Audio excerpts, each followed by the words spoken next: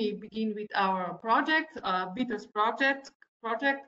It's really it's a program financed by Horizon Europe. Um, it's going to last for four years. So we are slightly over one year into the project. So, uh, but still, there are already first results, um, and some of them are really interesting because it shows that um, there's a lot of work to do. Um, that you know our food system will be more sustainable as it is.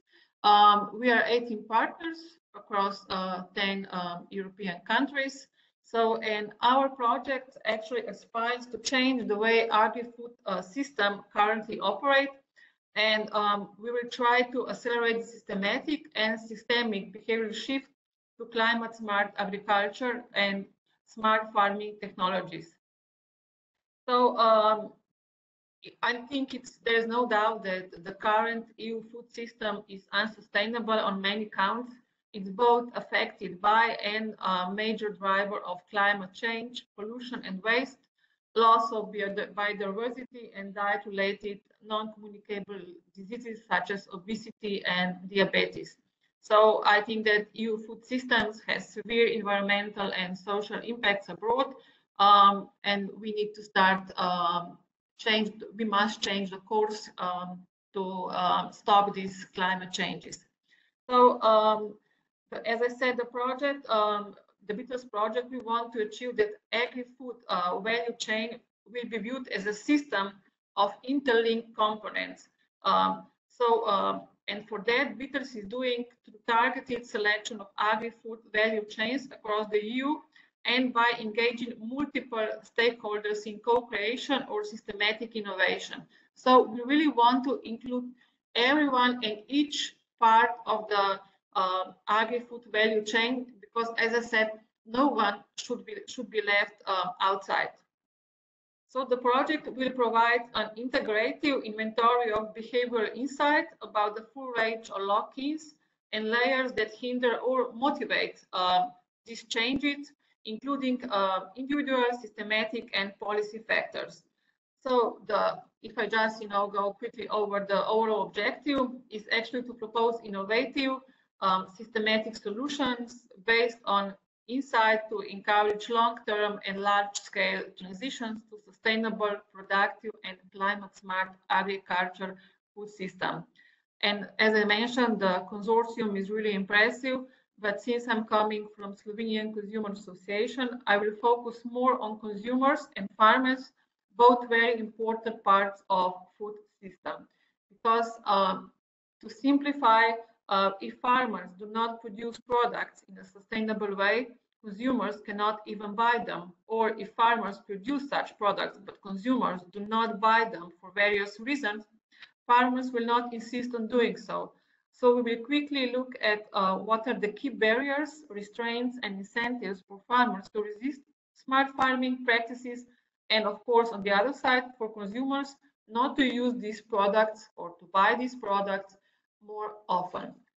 But before I start with this, um, besides you know doing different um, surveys, we will also have experiments um, in, within BEATLES project. We will have validation of business models we are working really strong on policy recommendation and of course uh, we, we know that it's very important to you know to achieve knowledge transfer.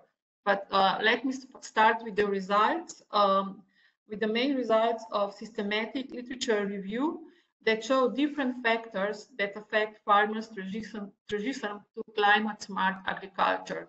So here are some uh, basics um, socio-demographic factors uh, like older age, low education, low income, low farming experience, and part-time occupation.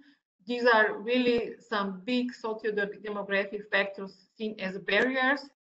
On the other side, side we have also barriers among um, psychological factors, for example, low, low awareness, low skills and capacity, low innovativeness, and low environmental consciousness. So we need to actually work more on uh, motivation to by economic gains. We should, you know, overcome the negative attitudes. Uh, we should overcome the resistance to change, and of course, also to risk aversion. Um, for example, we have also then um, systemic factors. Um, as we uh, find out, um, farmers are very affected by social norms, peer-to-peer -peer learning, social networking, membership in a cooperative, and advisory uh, services. So we should use all this knowledge actually um, to show the drivers uh, that um, climate smart agriculture practices and uh, or technologies will be used uh, by farmers. So um, as we can say, uh, we find out that um, it's very important for them that these practices are useful, they are easy to use, they are compatible with their um, with uh, practices they are using right now. They are not too expensive. They can see benefits and they they, they trust these um, practices. And with all this, um, based on this outcome, it's evident that policies and strategies will need to be implemented to assure that farmers' transition to climate smart agriculture will overcome overcome all these barriers and um, actually promote these climate smart uh, agricultural practices. So uh, we, uh, within uh, BEATLES project, we pre prepare some recommendations for policies and strategies.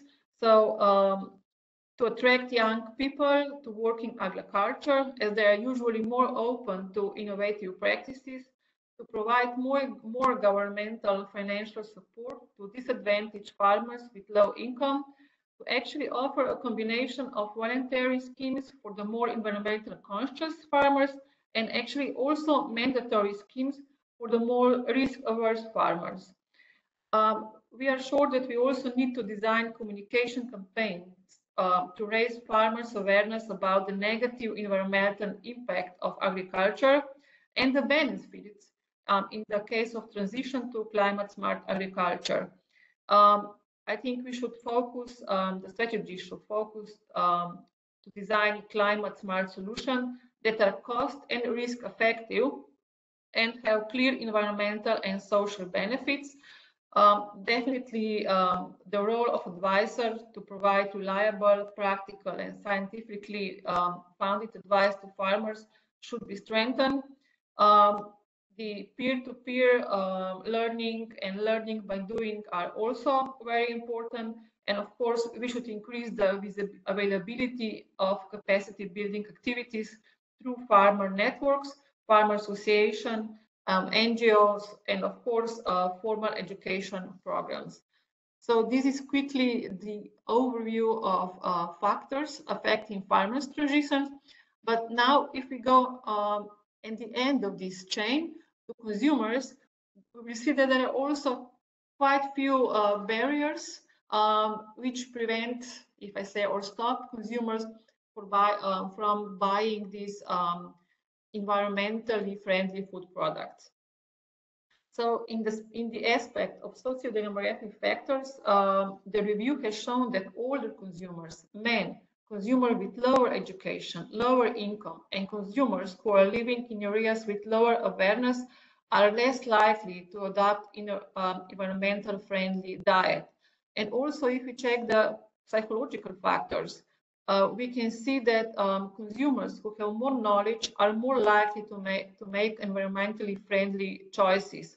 The same was found for the individuals who are used to buying um, this kind of products and consumers who are open to new experience. We can see that also here it's very important that um, consumers are, are ready to change their diet. It's the same with farmers. They should be ready to change the uh, the way they are working right now, and it's the same with consumers. They should, you know, uh, understand that um, unhealthy lifestyle, that uh, more sustainable food diet, it's better for them but they should see this benefit um, on concrete cases like, for example, um, health um, and so on. So if I go on with the product characteristics, um, they also affect consumer behavior shift towards environmental friendly uh, food. So uh, information on the packaging, such as claims, certification, and information about the origin, environmental impact of production, and animal welfare they all increase the purchase chances uh, from consumers' point of view. Also, uh, lower price, lower price, longer expiry date, appealing taste and appearance, perception of naturalness, high quality and food, food safety. They also present important drivers for consumers uh, willingness to pay for um, this kind of environmental friendly product. Uh, for me, it's very, um, it would be interesting to hear actually what consumers understand under natural ingredients. Because you know these are words and um, and I'm sure that if we ask each of us uh, we would understand different what should stand behind this um, word. Um, and so also here uh, we can say that um, systematic factors such as social norms have been detected as an important factor um, influencing consumers behavior but also um, advertising, promoting, and encouraging um, environmentally friendly consumption um, through various information sources has shown a positive impact on, on environmental friendly food consumption. And lastly, policy factors, we cannot forget about them. Um, government action supporting the growth and accessibility of um, environmental friendly food um, can have an effect on consumer willingness to buy such product Because um, as a consumer organization, um, if I can add this point, we always say the um, environmental friendly um, diet should be easy diet. So the consumers um, should not have, have shouldn't have any problems with buying this product. This should be their first first choice. So this product should, should be on shelves in the store where they are usually buying, um, you know, everyday uh, food product. So um, also for the consumers, we also prepare some um, recommendation um, how to achieve this consumer behavior shift towards um, more uh, to buy more friendly food products.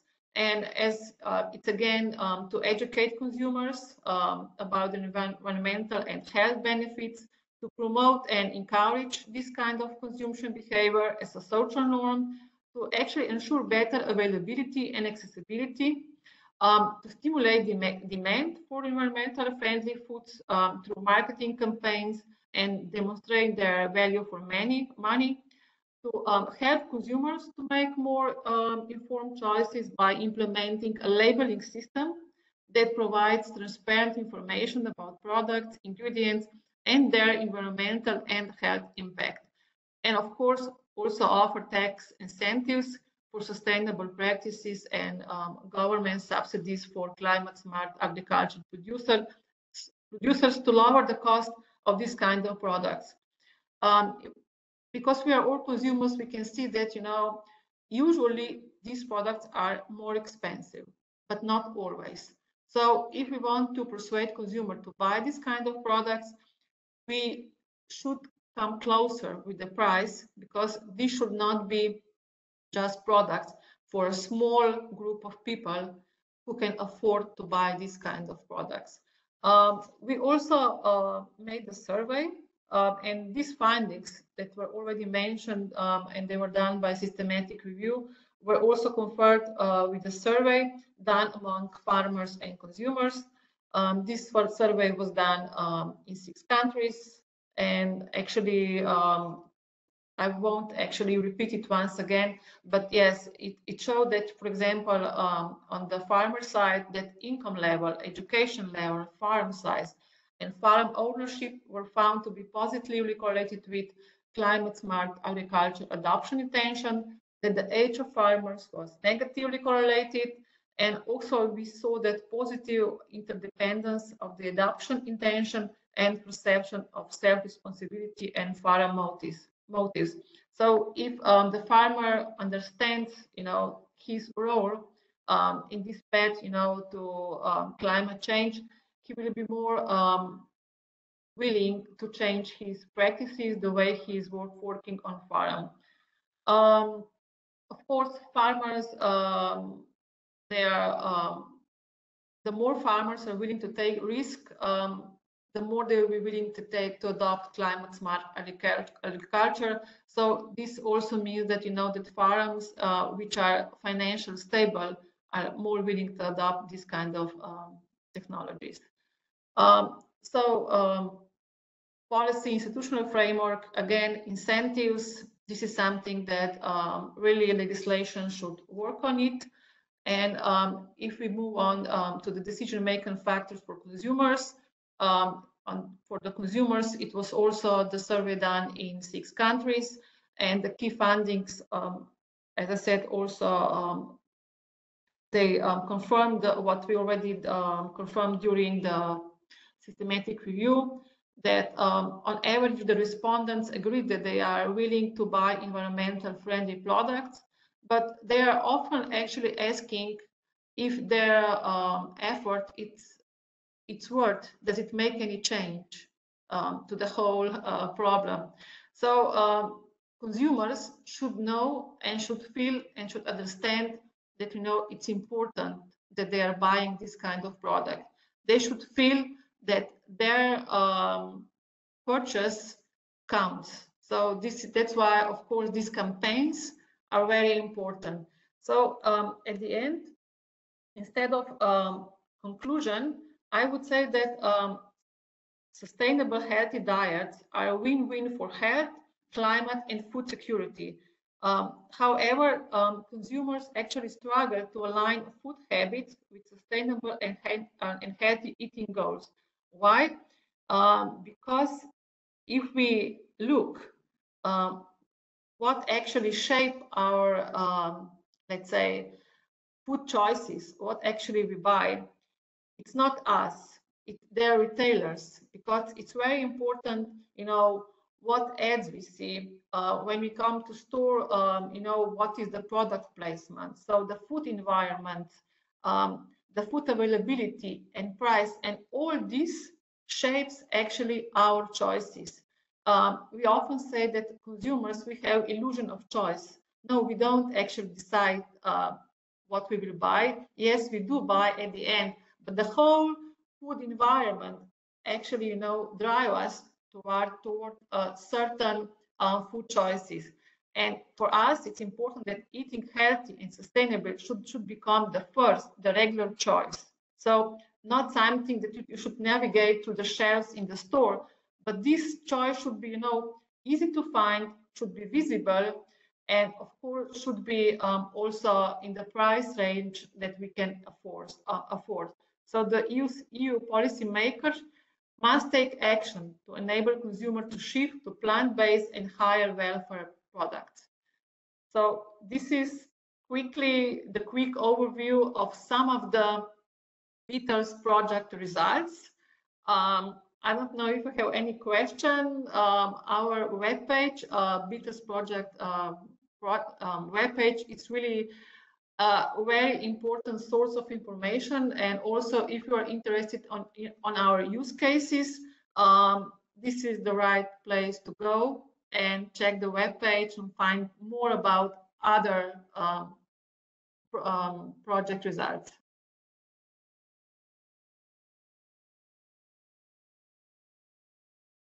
Well, first, I would like to thank the organizers for inviting us to, to, to participate in this workshop, but in particular to, to join this uh, network of projects you are uh, creating uh, around the, the MAIA, the MAIA project.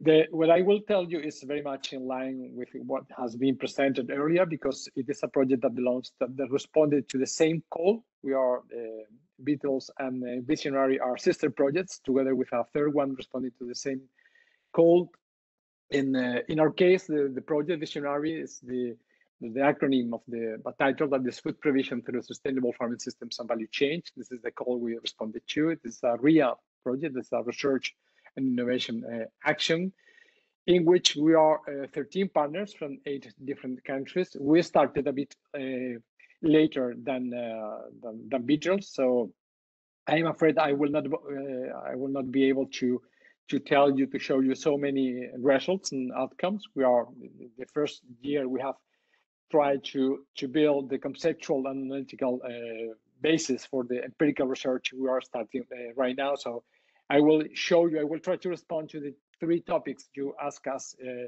in terms of what we plan to do or what we are uh, trying to to implement. Well, you have here the map of the participants. I'm here in, in Valencia. So we are the, the coordinators, and we are we are sharing the scientific coordination with the University of uh, Aberdeen in Scotland. So the, the, the, aims of, of the project of, are very much in line to uh, to the Beatles one. Uh, we aim to first to to characterize and uh, assign the, the, relative relevance to the, the, different behavioral factors that are conditioning, that are shaping uh, food actors' uh, decision making from farmers to consumers, all along the, the food chain, and how to utilize those uh, this knowledge in order to overcome the existing barriers and lock-ins that are preventing many of the actors to take decisions that are better in terms of environmental but also social sustainability. We want to to, to, link this uh, uh, relationship between consumers and farmers because there is as uh, it was said sometimes we uh, those people working on the agricultural domain uh, forget about the, the, the, end of the of the value chain that's the role of consumers in shaping also farmers uh, choices we also aim to, to to contribute to the design of targeted policies. Uh, I will uh, speak later about uh, behavioral food policies, but also we aim to adopt a, a, focus on the on the role of collective, collective entities in in in, the, in overcoming some of the barriers for the adoption of sustainable practices we are running, and I will go back to this point later on, uh, a number of uh, what we have called science policy interfaces as uh, multi-actor platforms in which we want to to put in practice the, the, the transdisciplinary approach of the project. We aim to, we ambition to identify policies that will be able to, uh, sorry, uh, uh, policies that instead of facilitating the transition towards more sustainable food systems, are acting in, in, practice as barriers, and who are the actors who could change them.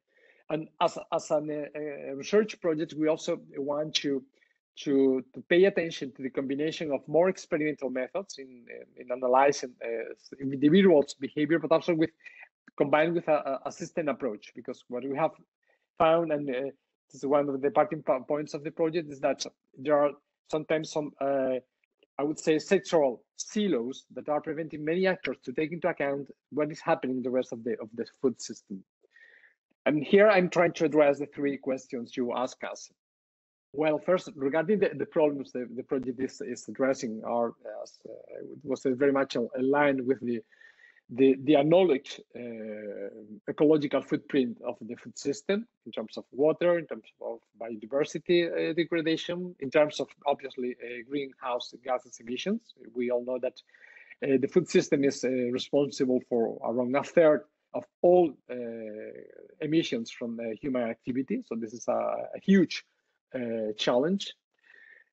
The second point is that despite the, the evidence, uh, food actors, and here I'm adopting this value chain approach from, from farmers to consumers, keep making inadequate decisions. There are choices, there are uh, developing practices, they are establishing relationships that are not in line with the sustainability of the of the food system, and there are a number of factors that are uh, explaining them, and it, it just Mina presented, presented some some of them.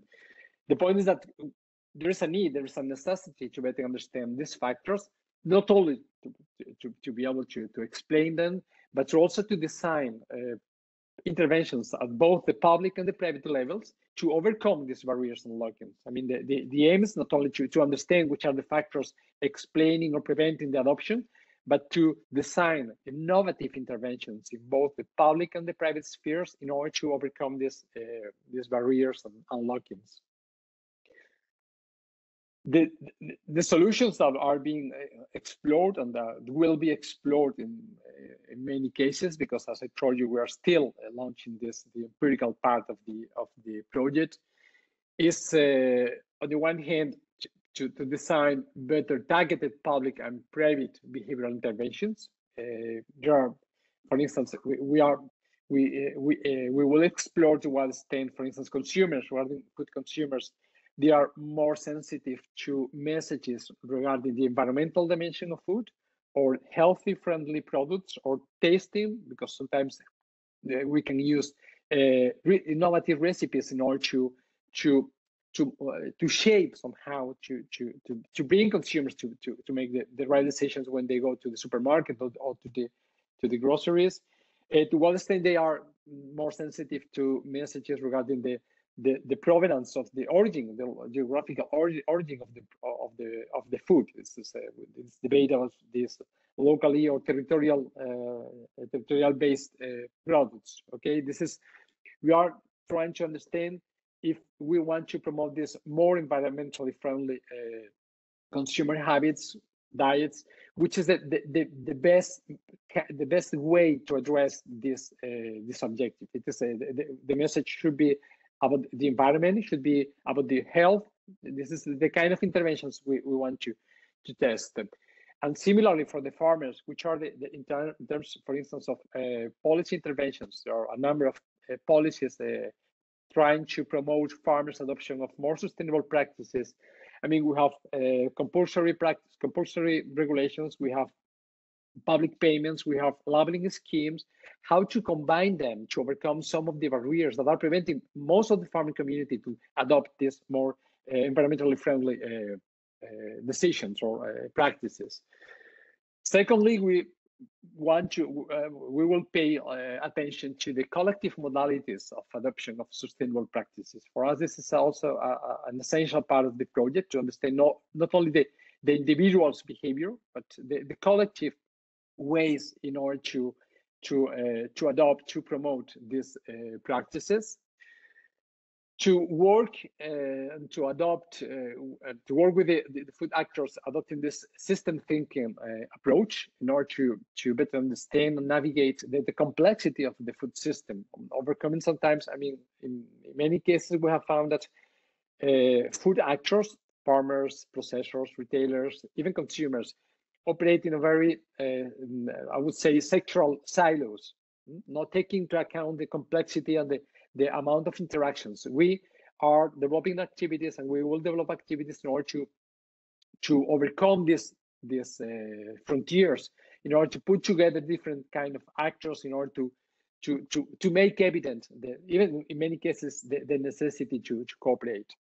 And finally, I would like to, to emphasize this double uh, uh, adoption of First, this is a, an interdisciplinary project because we have we are in into the consortium uh, people coming from the uh, sociology, from the economics, uh, geographers, uh, engineers, but also we uh, are adopting a transdisciplinary approach because we are working from the very beginning with the actors uh, in order to to make use of this expertise from the the the, the, the, the who are expected to be the end users of our outcomes to, to be from the very beginning engaged in the project or to propose their own solutions that are going to be tested later in the empirical uh, analysis to, to be done.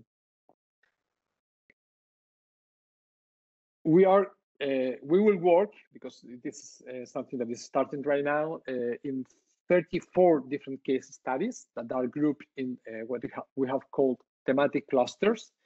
That these clusters uh, revolve around both environmental specific environmental challenges or selected actors. I will show you this. This is a kind of map of the case studies in which we will uh, conduct our uh, empirical research.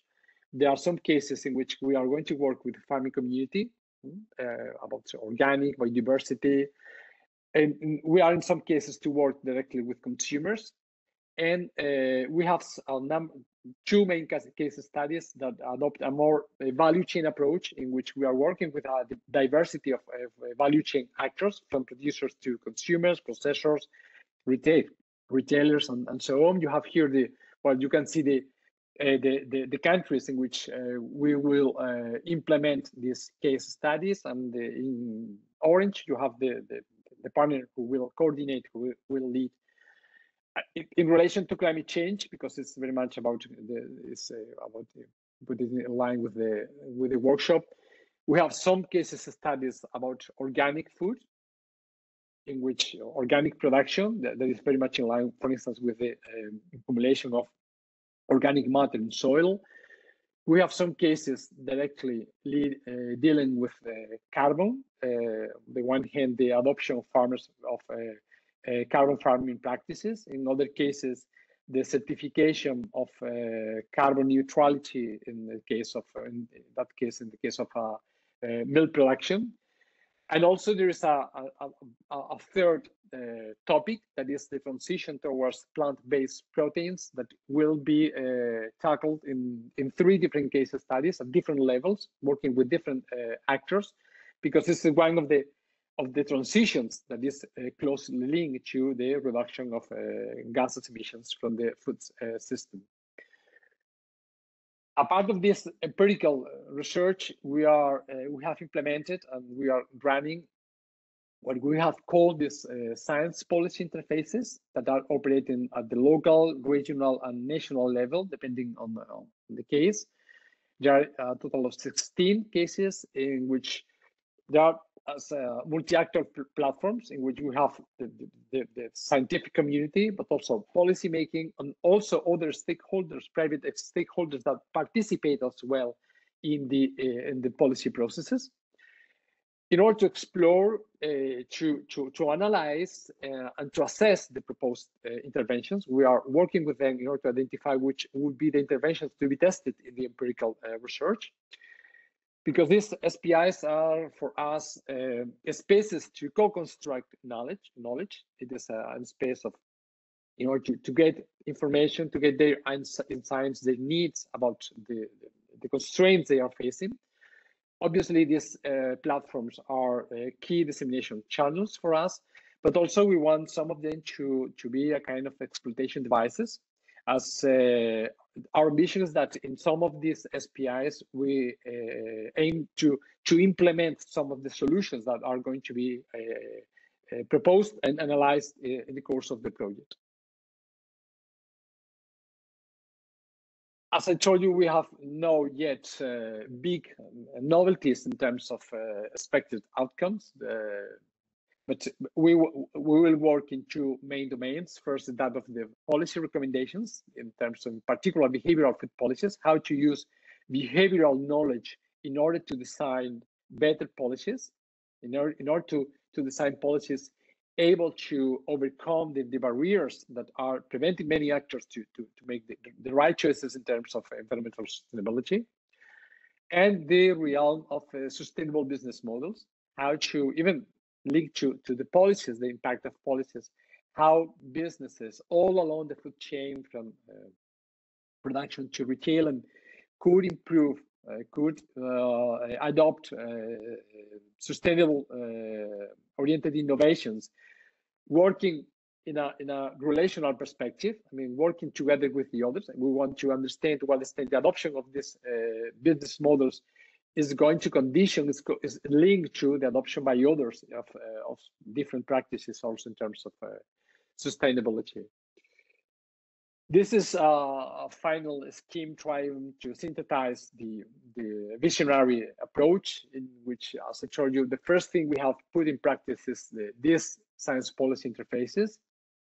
And they will be operating all along the, the project so that we aim and we are extracting from the first round of uh, activities in these interfaces uh, the identification of interventions to, to be tested, to be analyzed along this uh, value chain approach from farmers to consumers, so that the, the, the, the, aim is, as I told you, to, to better understand, uh, to propose, to make contribution in terms of the design and the adoption of sustainable business models. And we are working with a number of sustainability outcomes. I mean, as I told, as, as I showed you in the in the in the case study uh, slide, we have uh, case studies about water, about biodiversity, about carbon, and other that are cross-cutting uh, environmental uh, case studies.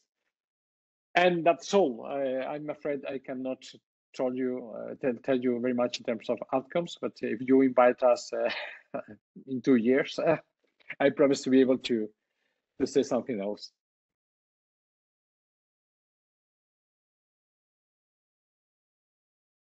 So we are now moving to to the the climate adaptation issues but at farm level okay only with uh, farmers through this uh, life project So as you can see on this map, we, we try to, to build a partnership with um, four organizations covering different climate zones in, in Europe, in which you have uh, specific issues dealing with um, climate uh, stress and climate impact for, for the local farms. So three of the partners were NGOs like Solagro, and uh, we had also a university in Estonia in the in the, in this uh, partnership.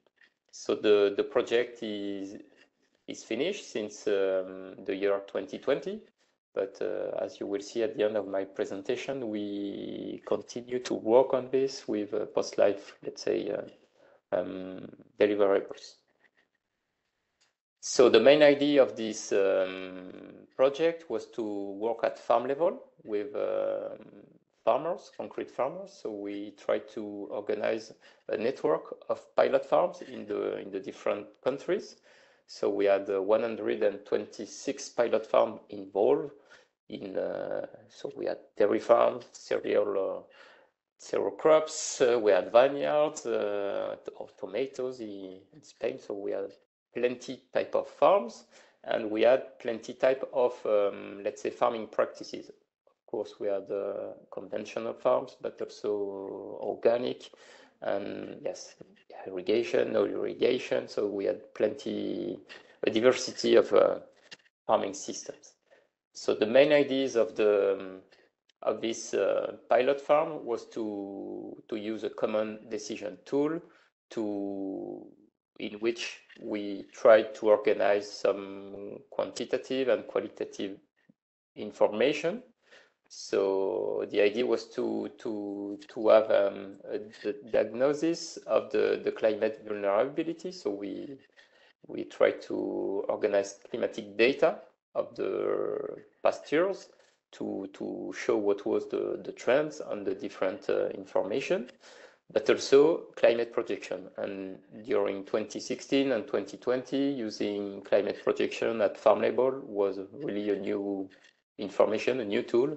And we try to, to organize a lot of um, work with the scientific communities producing this kind of data and to make it useful for end users, which are, are farmers, but also the, um, yes, the, all the advisors working at farm level. Um, we try to inject in this decision tool also all the information describing the, the farm and how the farm is organized.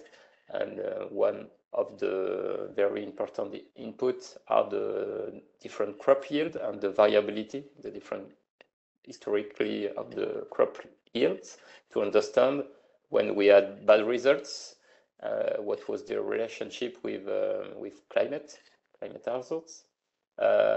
We try to also, um, so this decision tool was based on past data, but also trying to understand what uh, would be the, the new climate in the next uh, 20 or 30 years, and to understand if uh, we had no change, what would be the new reality, the new stress at farm level.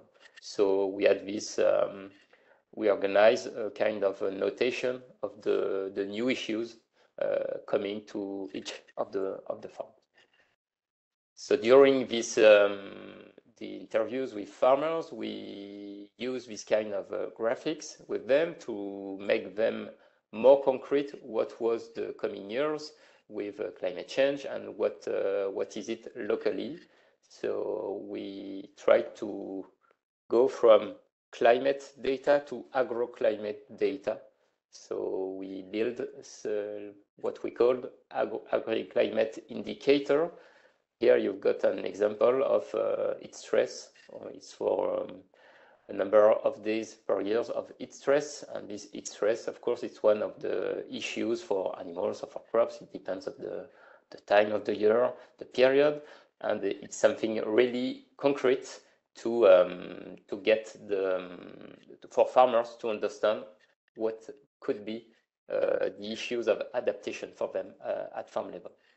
So we try to organize the discussion during three years with the the agriculture the, the farmers to at the end produce an, adapt, um, an adaptation plan with the main uh, adaptation measures for them. But we really uh, work half of the time with them on this uh, second step to help them to be better understand what uh, what is vulnerability for them at farm level and what it could be in the coming years through the climate uh, trends. So uh, we don't have so much time, but you will see we we have a lot of deliverables in this project. So here are the the resume, the main uh, let's say the main uh, no regret adaptation measures. So diversification is part of the of the issues. Uh, we have a, lot plenty of things to do with soil conservation and extensification of the farming practices. And we also put forward uh, a lot of issues with uh, the livestock, you know, dairy cows, and um, are quite sensitive to heat stress. And uh, for all this kind of farming system, there are a lot to do with uh, with the thermal stress uh, of the of the main deliverables of our project is this uh, web tool, AgriAdapt uh, web tool for adaptation. We try to organize it in three sections, three modules. Module one is we we saw during the projects that to better adapt, there's a big need with to to improve the the, the capacities of the farmers so we have to strengthen the knowledge with climate, uh, what is climate change, what is climate change impact, and what is climate change adaptation in agriculture. So this uh, quiz is very, it's a good thing to, to, to get some knowledge. And you have four quiz, four quiz, one for each of the climate zones. We have a second module with quantitative data with uh, uh, what was the what is the climate on the different uh, yellow point you get on this map. Uh, what are the historic variability of the yield of the different crops, and of course we have also some information, a lot of information about the climate projection for this local point. Uh, and the last uh, and third module consists in uh, showing different options to adapt at farm level. And we were working uh, in the framework of, of a life project. So we try to focus really on sustainable adaptation measures. So we don't know uh, when we need to adapt exactly and uh, what to do. But um, with this kind of measures, we can also show some other positive aspects concerning uh, environment. The, um, so even if you don't, uh, if you are not impacted with uh, climate stress, you can have some positive impact on different uh, part of environment. So this uh, web tool is uh, online since three years now, and it's still so you get the the link. Um, and we, at the end of the project, we present the results to the Copernicus team at um, at the European level, and they were interested to to put uh, let's say, the, this um, AgriAdapt um, methodology in a specific application in the climate um, data store of the Copernicus. So I've got just uh, one or two slides to, to show you uh, how it looks like. So the idea is to, to have um, both historical time series and uh, climate projection. We have some indicators, not all of them, but a few one, dealing with heat stress, average temperature and precipitation, frost days, uh, and uh, the date also of the last uh, spring's frost. And um, the very interesting thing is that you can also adjust some threshold, not all, but we give some place to the users to to to to have different uh, option, and also, and it's the same thing with the period. So in agriculture, the very interesting thing when you are on a local farm is to adjust a period on a threshold so it can be relevant for you. So um, this um, it's a free um, application. It's available through this web link, and uh, it will look like this. It's very easy. You click somewhere on the map, and you can uh, adjust then the different year variables. Of course, you the idea is to show the trends for different RCP scenarios. You can here adjust the threshold for each stress. You can adjust the period, and then you will be the results for different time horizons. And you have both here the reality, for example, here the year, the year, uh, the, the recent years, we are with more uh, heat stress, for example. Uh, it's show then here over the um, the anomaly, um, the anomaly of the recent past uh, data. And here you have uh, both the, the current situation here and then the trend for the coming years and the need to move and to, to adapt at farm level. And uh, one more uh, post-life project that has been uh, that is also now available. So we work with the partner on our a common tool for to, to have an easy access to climate projection. So it's available for all Europe. It's a multimodal approach. Uh, you can have results for the near future or the, the really far future. And the, the specificity of the tool, the innovation is here. You have 100 and 122 indicators uh, ready to use, but that are totally freely adjustable. So you can play with a lot of, of uh, indicators. It's relevant for, let's say, all the, the production. And uh, you can make local. Uh, so it's uh, grid points uh, about 10 kilometers square. And when you work with farmers, they always want to have their situation and the, the tool is available in five language, so it's an easy way also to, to reach farmers. So that's it for the presentation. So in only a few minutes, you have four steps and you can have the results. So by this, you don't need to be a specialist of data or for climate projection. You can really have local information with your agroclimate indicators for the, the near or the far future. Thank you very much.